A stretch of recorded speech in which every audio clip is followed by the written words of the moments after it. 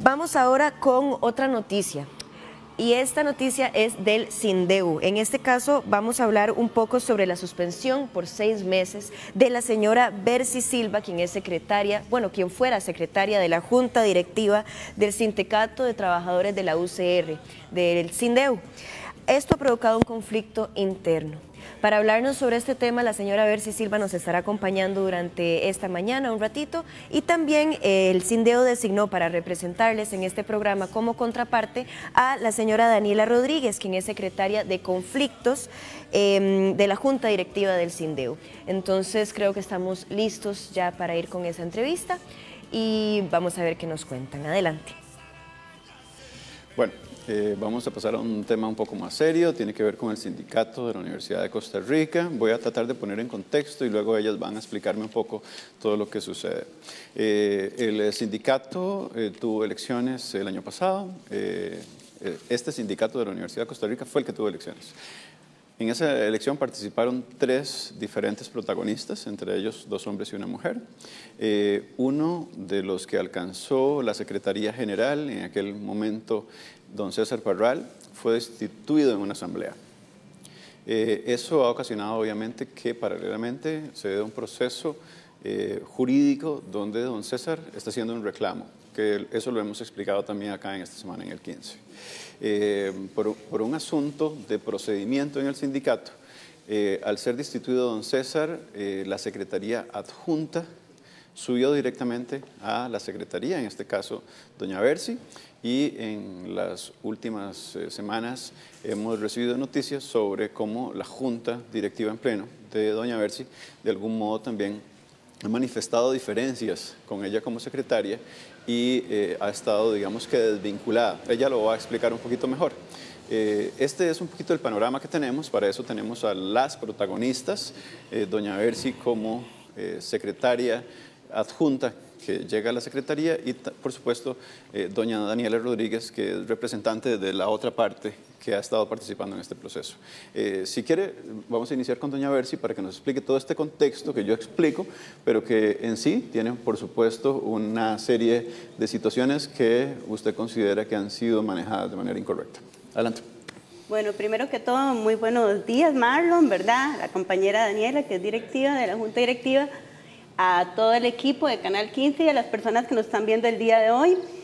Eh, básicamente, a mí, bueno, aclarar que no, no he sido eh, en este momento expulsada, se habla de una sanción de seis meses, pero vieras que este espacio va a ser, creo que muy rico, porque definitivamente ni yo misma entiendo por qué aplica la sanción. Dentro del documento que se me entrega se habla que debe secretos sindicales. Mi pregunta es si el sindicato tiene secretos sindicales. Leyendo un poco diferentes autores, acá en Costa Rica nosotros podemos hablar de secretos de Estado, podemos hablar del secreto de confesión, podemos hablar del secreto profesional, hablando inclusive ahora de todo lo que está pasando en casa presidencial, ¿verdad? Todo eso ha sido un debate. Mi pregunta directa es, mejor dicho, ¿por qué me sancionan y cuál es la información? Le preguntaría a la compañera Daniela eh, cuál es el secreto sindical que yo no sabía que existía, pero, porque es, ni yo misma tengo conciencia de eso, digamos. No sé qué es el secreto sindical que debe leer y por la cual me sanciona. Yo, yo le voy a dar la palabra a doña Daniela con esa pregunta ah, que usted le está haciendo, que creo que es muy valiosa, pero sí quisiera como tener entendido de que a usted en el momento que la destituyen, ¿verdad? Eh, o, que la suspenden o que la sancionen, no sé cuál es la palabra correcta, esa junta directiva, ¿verdad? Eh, lo hace en pleno y hay una, a ver, hay una decisión judicial en el medio, digo, hay un abogado que de algún modo da esa autorización de que está haciendo legalmente el procedimiento. Algo importante, tal vez eh, desconozco, digamos, si esto tuvo, hubo un abogado, aparentemente sí hubo un abogado detrás, eh, aparentemente la Junta Directiva se reunió, donde yo no estuve presente, y algo fundamental, de ahí es que lo que ellos están eh, recargando en mi persona es que debe secretos sindicales, que es mi pregunta. ¿Tiene el sindicato secretos y qué tipo de secretos no puede saber la afiliación? Ok, muy bien. Eh, tal vez entonces ahora doña Daniela nos explica el contexto de todo esto y vamos a tratar de responder a la pregunta. Sí, claro. Bueno, buenos días, muchas gracias por la invitación. Este, como secretaria de conflictos del sindicato, Este, vengo en representación del resto de miembros de la Junta Directiva, no vengo a hablar por Daniela Rodríguez. Este, el proceso que se llevó a cabo, en el cual se le sanciona a la Secretaria General, en este caso a Bercy Silva, este, va connotado en diferentes este, faltas al estatuto. O sea, como organización eh, tenemos un estatuto al cual tenemos que cumplir y demás. Y, en ese estatuto se consigna eh, que existe algún eh, secreto que ella haya revelado que sea sancionable para que no continúe. Este, es que no solo se le sanciona por eso, o sea, ese es uno de los tantos ítems.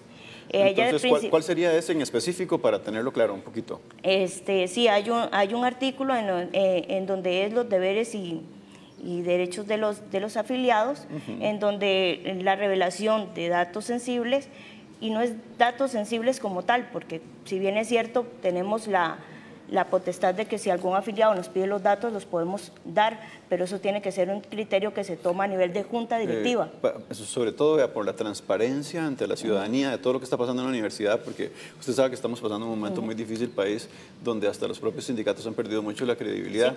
Y claro que este, digamos, este conflicto, que de algún modo usted también eh, como secretaria lidera, eh, causa en la ciudadanía una serie de preocupaciones, ¿verdad?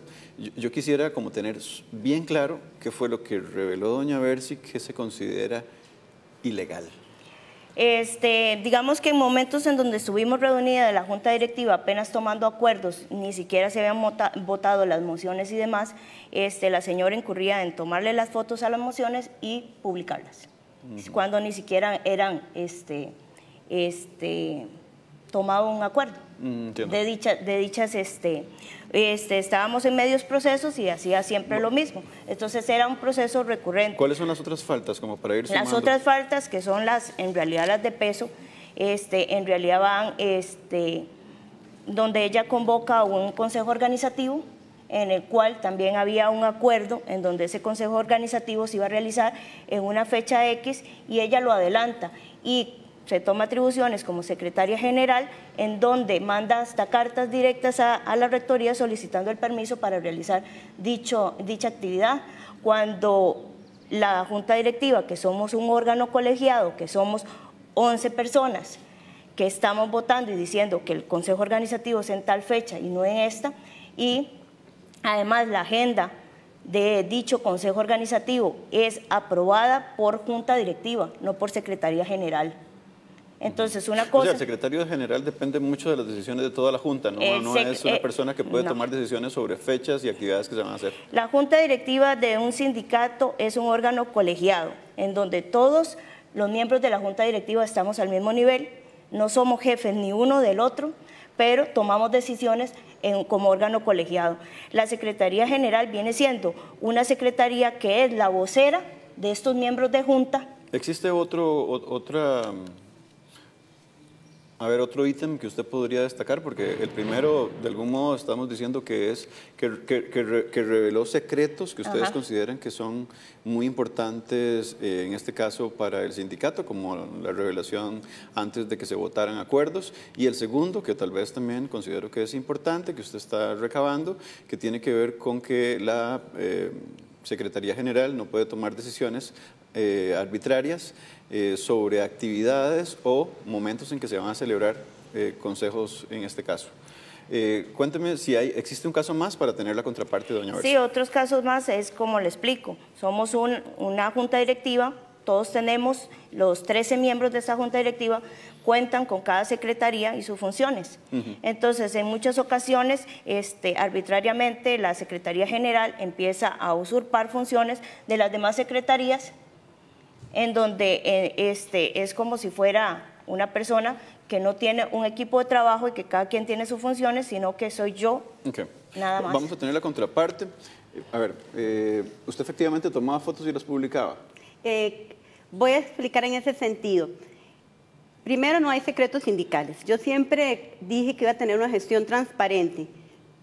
Cuando yo llego a, bueno, antes de que yo asuma la Secretaría General, en una sesión la Junta Directiva me solicita que por favor, para disimular en uno o en dos meses, eh, yo me mantenga como secretaria general y después presente alguna excusa que tenga que ver, por ejemplo, con alguna situación familiar y que le ceda el espacio de la Secretaría General al señor Trino Barrantes, aspecto que yo no... Es eh, persona, don Trino es la persona que está actualmente en la Actualmente él es el secretario supuestamente legitimado por la Junta, pero no es así, ahora lo voy a explicar. Entonces yo no cedo, Eh, definitivamente tengo la experiencia, aunque se me ha atacado que no tengo la experiencia, yo siempre he sido sindicalista, más de 15 años de ser sindicalista. Entonces, ¿qué pasa? Me hacen un bloqueo, un golpe técnico. El golpe técnico es, yo soy respetuosa del estatuto y quiero dejarlo claro a toda la comunidad universitaria, a todas las personas que están viendo, yo soy muy respetuosa del estatuto y el estatuto dice que mínimo una vez al mes se hace un consejo organizativo. ¿Y qué pasa? En diciembre la Junta Directiva decide que no se haga un consejo eh, organizativo. Yo soy respetuosa del estatuto. Y algo importante, el estatuto dentro de las funciones, en el artículo 19, dice que es deber de la Secretaría General ver que se lleven a cabo eh, toda la asamblea, los consejos organizativos. Eh, a ver, eh, luego volveré sobre la pregunta porque es muy importante esto de que usted revela antes esas mociones, pero voy a tratar de, de tomarle la palabra sobre lo que está diciendo. Claro. Se tenía que hacer una vez al mes un consejo eh, organ- organizativo. Eh, eh, en la letra menuda no dice que también mínimo o que no era necesario de repente no, No. hacerlo. No, no. ¿Se El- puede pasar por alto o se ha pasado por alto en algún momento no hacerlo? Algo importante, creo que ha sido una práctica eh, muchas veces que se aplica el estatuto cuando conviene y otras cuando no conviene, ¿verdad? Es- así pasa en el país, no solamente en ¿Con la eso qué me quiere decir? Que si no había consejo no pasaba nada. No, el estatuto es claro, mínimo una vez al mes hay un consejo organizativo. ¿Qué es lo que pasa? Yo en este consejo organizativo, yo quiero informar a la afiliación de que tengo un bloqueo técnico. Por eso me dicen no y yo decido solicitar al señor rector que me dé permiso para el consejo organizativo Entiendo. para explicar el bloqueo técnico. ¿En qué consiste el bloqueo técnico? Les voy a explicar. El estatuto dice muy claramente que en el artículo 19 que son funciones mías eh, tener a cargo el personal, como en cargo de jefatura. Yo llego y me dice el personal que yo no soy la jefatura porque Trino Barrantes dice que él es el jefe, me quitan la- las claves de las redes sociales, no puedo publicar absolutamente nada. Algo importante, pido información sobre finanzas, pido información sobre cuántos números de afiliados hay y no Eh, me la quieren ah, dar. Hay, hay un dato importante porque la producción solicitó que estuviera, le, le solicitó al sindicato que estuviera eh, la persona que, la está representando hasta en este momento o que asumió Claro. en decisión de junta directiva. Hoy contamos con doña Daniela por una recomendación del sindicato. Digo porque es muy importante Claro. que digamos que nuestra audiencia entienda, ¿verdad? Que hoy no está don Trino, pero que digamos nosotros hicimos esa solicitud que es muy muy valiosa de parte de nosotros como digamos como un periodismo que trata de hacer el fairness. Eh, usted reveló esas imágenes que dice doña Daniela. Claro, a la afiliación, al consejo organizativo, donde decían que no se me iba a... Yo tomé la foto, no me dejaban tener acceso a la información porque es parte del bloqueo, tomo una foto que no es un delito y ya lo tengo muy claro, que no hay secretos sindicales, jamás para un sindicato no puede tener secretos, y lo mando al consejo organizativo, le digo, "Oiga, compañeros, me están quitando las claves, dicen que no puedo mandar cartas, sino una firma de un compañero dando el visto Cuando usted bueno. me dice que lo envió, eh, eh, lo, lo envió a un grupo reducido de WhatsApp. a envió- WhatsApp, al grupo, eh, a un grupo que se llama Consejo Organizativo. Parte de la estrategia que yo hago para tener contacto con la afiliación es buscar números de personas que pertenecen a seccionales, hacer un grupo e informarles. ¿Usted creó ese grupo? ese grupo lo creé yo. Eh, exactamente, y les informo que soy la secretaria general y que estoy presentando esta situación. Y tomo la foto, informo donde dice que se me quitan las claves, informo donde Eh, no entonces- soy jefa ya del personal. Entonces, entonces eh, ahora ella, ella obviamente dice algo que es muy importante. Eh, ella llega eh, como secretaria en aquel momento, la junta directiva eh, le bloquea, pero además en todo un contexto muy turbio, donde según doña Bersi explica que inclusive se le hizo de alguna manera una gestión política para que se silenciara y se desapareciera en un momento determinado. Todos estos hechos no enturbian también un poco la labor que de algún modo desde la Secretaría de Conflicto debería el, el sindicato tener resueltas. Eh, aquí hay varios puntos este, esenciales de, de ratificar y de, y de aclarar. Este, primero, como junta directiva, somos un grupo y ese grupo está unido. Este, este grupo está unido y cuando eh, este, doña Bersi va a subir a ser secretaria general, se le plantea la posibilidad, y en ese caso, o sea, se le da un nombre muy posible que nosotros, el resto de la, de la Junta Directiva, creemos que es la persona que políticamente en este ambiente, y como ya habíamos tenido el otro problema con el secretario general anterior, pues estábamos buscando una solución que fuera más viable, que no tuviéramos más conflictos a nivel este, organizacional y también como o sea, vemos sí, afuera. Sí, efectivamente se sugirió el nombre de otra persona para que lo asumiera. Se le propuso, en el cual ella quedó en dar una respuesta. La respuesta nunca la dio formalmente, solo después llegó y nos gritó y nos dijo, eh, no voy a ceder, este es mi puesto y por estatuto. Entonces, perfecto, seguimos con ella porque es el estatuto y no vamos a entrar en una controversia con eso. Entonces se entra a trabajar con ella, este, una semana trabajamos muy bien, este, se llegaba a juntas, se tomaban acuerdos, se seguía con el proceso de agenda porque tenemos una agenda nacional, una agenda interna a nivel En esa semana todavía ella no comunicaba que definitivamente ella iba a seguir eh, o, que le daba el paso a otra persona. No, señor. ¿No, era entendible que naturalmente ella iba a seguir? Era entendible. Claro que conociendo ya a la señora Bersi y todo lo demás, ya nosotros sabíamos cuál era su posición. Y no teníamos ningún problema, siempre y cuando se pudiera trabajar. Entonces, este, como le dije anteriormente, la usurpación de las demás secretarías. Aparte de existir una secretaría que es de propaganda y divulgación, que la tiene otro compañero, este, se hacen comisiones. Entonces se hacen comisiones en donde se establece que, eh, y eso es por acuerdo, todo está por acuerdo. Y, y cuénteme qué sigue ahora en todo esto. ¿Qué sigue ahora? Nosotros lo único como junta directiva, como miembros de junta directiva, de manera unánime tomamos la decisión de sancionar a la, a la señora para poder nosotros seguir trabajando, que es lo que hemos hecho. Usted podrá ver que nosotros, bueno, yo le traigo aquí los ejes de trabajo y los logros que hemos tenido en estos tres meses.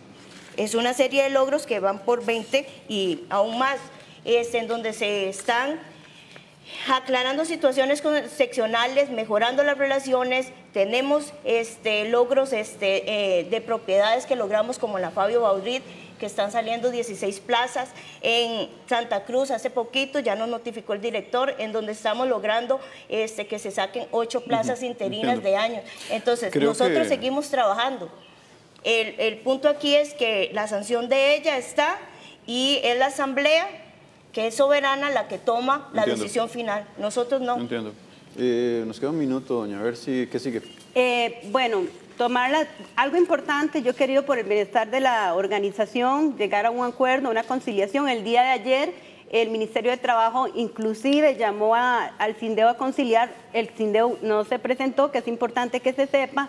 Algo importante, la afiliación, ahorita más de 200 personas firmaron para que se haga una asamblea de manera inmediata y sean ellos los que toman la decisión si sigo eh, con la sanción o no hay algo muy curioso, porque dentro del documento que me entrega la Junta Directiva, y quiero que todo el mundo lo sepa, dice que, que mm, de manera inmediata van a convocar asamblea extraordinaria para atender mi situación, pero ahora lo ponen a dos meses. Llegan 200 firmas y algo importante esas 200 firmas. El artículo 15 del estatuto dice que si el 10% de la afiliación solicita una asamblea, la Junta Directiva debe convocar en no mayor de 15 días a una asamblea. Ya tenemos las firmas, los afiliados están diciendo, queremos una asamblea porque algo importante, eh, dicen 11 miembros contra Versi, pero a mí me ratificó una asamblea general de más de 200 personas como secretaria general. Entonces, si hablamos de sumas, yo estoy muy preocupada, perdón Marlon, ya en un minuto voy a tratar de hablar rápido,